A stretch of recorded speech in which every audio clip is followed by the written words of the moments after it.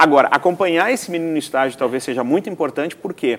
Porque hoje, quando ele entra no mercado, seja ele qual for, seja de uma empresa pequena ou de uma empresa com milhares de funcionários, ele não tem ninguém do lado dele para auxiliar.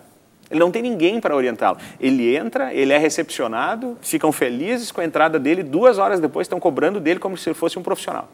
Né? Então, o fato de nós podermos atuar na supervisão desse estágio no mercado, para nós vai ser muito bom no sentido de eh, orientarmos esse cara de uma, eh, de uma maneira que ele não tem lá fora. Quer dizer, sermos o apoio pra, que esse cara precisa para uh, trabalhar. Porque hoje, repito, ele entra, ele é muito bem recebido, com muitos sorrisos, com muito carinho, e duas horas depois ele está sendo cobrado como, se ele for, cobrado como se ele fosse um profissional de longa data na empresa e com experiência, que ele não tem. Ele, na verdade, está entrando ali para adquirir justamente essa possibilidade de experiência e conhecer o processo. Né? Aliás, é bom lembrar que o estágio em jornalismo é proibido por lei. Pois é, isso para mim é um, é ficou uma é crise. Proibido né? por lei, porque é exatamente para evitar que ocupasse os espaços uhum. profissionais. Fábio, como é que, vocês, é que vocês estão se preparando? E o que a gente tem, o que a gente tem visto, nova realidade. complementando o que o professor Fábio coloca, é que e aí não vai uma crítica porque existe uma parceria interessante e ela tem que ser cada vez mais forte, né? Ela vai ser ou organizada ou reorganizada com os veículos de comunicação e as instituições de ensino superior. Mas assim encerrou aquele prazo do, do, do estágio, aquele meio ano, aquele um ano, já vem o próximo com o mesmo nível de exigência uhum. por parte do veículo né? que também tem uma, uma, uma, demanda forte, né? uma demanda grande, às vezes não tem toda aquela condição do, do investimento, né? que aí vai assim bem eh, ao encontro dessas lutas que tu, como presidente da nossa Federação Nacional de Jornalistas, muito propriamente, assim como o nosso sindicato aqui tem trabalhado. Mas assim, é, uma das dúvidas que surge, tem alguns pontos nebulosos e que para isso que esse fórum dos coordenadores de cursos de jornalismo eh, aqui no Rio Grande do Sul é, ele é extremamente importante, essas discussões têm sido profícuas, é se pode ser realizado esse, esse estágio em laboratórios. Uhum. Né? Uh, eu ainda tenho dúvidas em relação a isso e a gente está tá, tá querendo avançar nesse sentido. Uh, cabe às instituições organizar né, oferecer, as vagas, oferecer as vagas de estágio, que podem ser para a compreensão dos, dos, dos, acadêmicos que nos acompanham, né, dos seus familiares, uh, em assessoria de, de, de imprensa uh, das instituições uhum. de ensino superior. Né? Mas, mais do que nunca, vai ser importante essa aproximação, essa parceria com os veículos de comunicação e com as empresas de comunicação, né, área de assessoria de imprensa, principalmente. Então, não tenho dúvida que todos os cursos têm caminhado nesse sentido, né? Uh, mas assim, que a atividade laboratorial ela é extremamente importante pro, a, para a relação ensino-aprendizagem né, em cada um dos cursos e certamente ela deve ser observada como um espaço fundamental né, para, para o cumprimento dessa exigência uh, curricular que é a realização do estágio, do, do estágio obrigatório, que são de 200 horas, 200 né? horas e vai estar alocado é. ali na prática e no, no, a partir do sexto semestre. É, quinto, né? sexto, sétimo, isso aí. Eu queria só fazer uma observação com relação a isso. Eu acho que para que a gente consiga trabalhar melhor essa questão de estágio, nós temos que... A gente fala muito da, do distanciamento ou da aproximação entre academia e mercado, né? Eu acho que nós temos que pensar muito bem na aproximação entre academia, sindicato e Ministério Público do Trabalho. Né? Porque aí eu acho que tem relações e competências específicas dessas três áreas que hoje não estão sendo cumpridas. E falo das três, não falo só de uma, né? É, não, das três áreas. Por quê? Principalmente agora em que esse estágio passa a ser obrigatório. Antes ele é, era proibido por lei, agora ele passa a ser necessário. Precisa ter uma atuação muito grande desses três, desses três entes, desses três agentes em sintonia inclusive com o Ministério Público do Trabalho, porque uh, a gente sabe tem muita coisa sendo feita por aí que é uma grande sacanagem com a segurizada que vai trabalhar. Né? E aí o Ministério Público do Trabalho precisa atuar. Então, acho que nós temos que aperfeiçoar um pouco mais essa engrenagem, inclusive com as empresas. Sentar à mesa, talvez os quatro agentes juntos, e definir algumas, algumas situações que são fundamentais nesse processo. E hoje, Schroeder, como a gente não tem, né, como é importante para, para o curso, nós já, já fizemos referência a isso, que o nosso aluno esteja estagiando, né? É importante para ele se colocar, né? É, é, buscar também essa experimentação de mercado, né? mas na verdade tem alunos de primeiro semestre.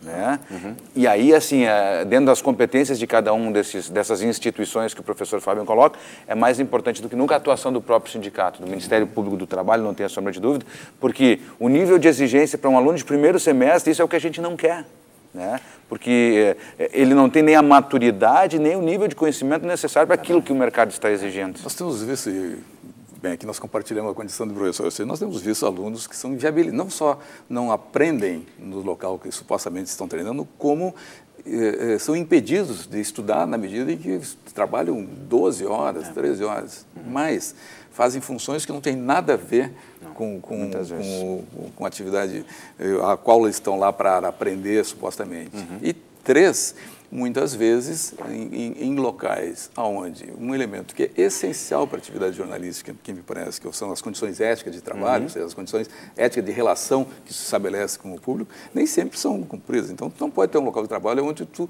desa, deseduque, né? Uhum. ou seja, aquilo que supostamente o, o, a universidade procura fazer, enfim. Então, temos a... a bem, o estágio, essa, essa modificação que nós estamos acontecendo, está acontecendo em relação ao jornalismo, está acontecendo em relação a várias profissões, relações públicas e etc. E faz parte de um conjunto de, de, de movimentos que o Ministério da, da, da, Educação está fazendo em relação ao ensino brasileiro. Uh, duas questões. Primeira, como é que estão chegando os nossos alunos uh, a partir do ensino médio e do ensino básico. Como é que vocês estão recebendo esses alunos? Como é que eles estão? Sem fazer aqui nenhum tipo de, de crítica, crítica, apocalíptica ou de, de, saudosismo, como é que estão chegando? Já, já vimos que para nós parece que falta leitura, uhum. diz o Fábio. Como é que vocês estão enxergando os nossos alunos? Como é que eles estão chegando? Eu acho que ele chega menos despreparado, eh, de, de, com algumas questões específicas, como a leitura e a escrita, que é um grande problema. Né? Na PUC nós nunca, é uma estrutura da universidade, nós nunca abrimos mão das disciplinas de língua portuguesa no básico. Né? Nós temos eh, os dois primeiros semestres de língua portuguesa especificamente. E cada vez mais, sempre, eu sempre imaginava, puxa, mas por que isso? Cada vez mais eu vejo a necessidade e a importância desse processo. Por mais que em um ano tu não vai resolver os problemas, não tem jeito, mas minimamente vai dar para dar uma uma emparelhada, digamos assim, como se dizia lá em Santa Cruz, vamos emparelhar o processo. e uh, agora eu vejo eles com menos uh, conhecimento específico de língua, por conta de leitura, de escrita e uma série de coisas. Vejo ele muito mais preparado para as tecnologias, porque ele vem, ele é um nativo uhum. digital, então ele, ele nos dá aula em determinados momentos, quer dizer, a gente não tem mais aquela dificuldade. Quando eu entrei na faculdade, eu não tinha nada de equipamento. Hoje ele vem com todo o equipamento que nós oferecemos na Famecos, ele tem em casa. Então ele compartilha desse equipamento, ele traz para a sala de aula. A gente entra numa sala que tem aí os alunos com tablet, com, com é, computador em cima da mesa, muito naturalmente, fora as outras coisas, né? Mas eu vejo um pouco de falta de preparo nesse processo. O que eu acho que acontece com esse menino até 16, 17 anos, 18, é que ele é bombardeado com tanta, e aí eu falo em quantidade, não em qualidade, com tanta informação que ele chega perdido no começo do curso. Então ele é um cara que tem pouca uh, estrutura, digamos assim, tem pouco conhecimento de mundo, tem uh, pouca experiência de mundo, mas ao mesmo tempo ele tem uma carga de informação imensa que ele não sabe organizar, porque ele é bombardeado diariamente, como nós todos somos, por milhares, milhares, milhares e milhares de informação e ele não consegue, informações, desculpa, e ele ainda não consegue fazer essa relação. Eu vejo um menino uh, uma, e uma menina entrando na faculdade hoje mais despreparado, talvez com, uma, com algumas vantagens, talvez não, com algumas vantagens quando eu entrei, né?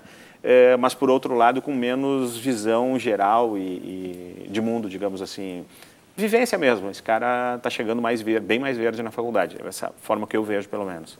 Essa, essas disciplinas, como já fiz referência anteriormente, Xireda, é, de língua portuguesa, elas são importantes, mas para cumprir algo que não foi realizado uhum. realmente no ensino fundamental, não é nem no ensino não. médio. Né?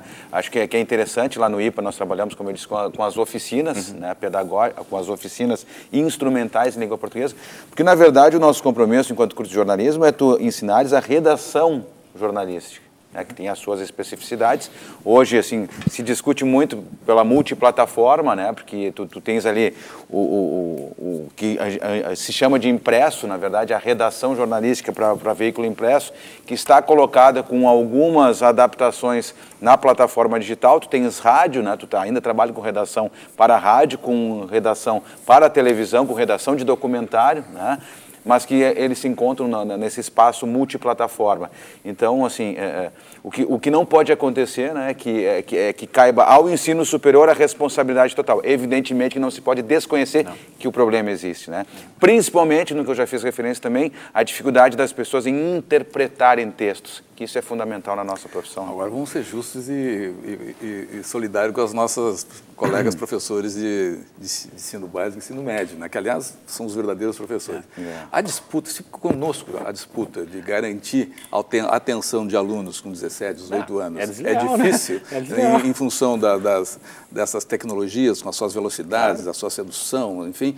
Imagine crianças, né? ou seja, com celulares, com Concordo. televisão, ou seja, é uma, é, um, é uma batalha Concordo. difícil. Né? Ou seja, a, a leitura, eu tenho certeza, eu vejo isso nos meus filhos menores, ou seja, há uma tentativa de, de, uhum. de, de, manter a leitura como um elemento educador nos ensinos básicos e médios, mas é disputa é difícil, né? É, e eu acho que isso tem muito a ver com a formação de, de, de, casa, que tu traz de casa também, né? Porque, por exemplo, toda semana a ideia na minha casa é que toda semana um livrinho entra em casa.